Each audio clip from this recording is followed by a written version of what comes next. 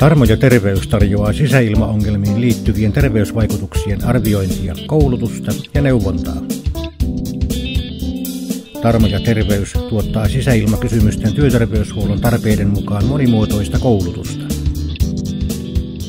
Yksittäisten luentojen lisäksi voimme järjestää tilaajan tarpeisiin räätälöidyn koulutuksen tai useampien koulutustilaisuuksien sarjan.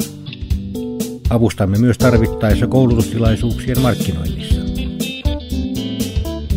Sisäilmastokyselyjä teemme yhteistyössä työterveyshuoltojen tai rakennusalan toimijoiden kanssa.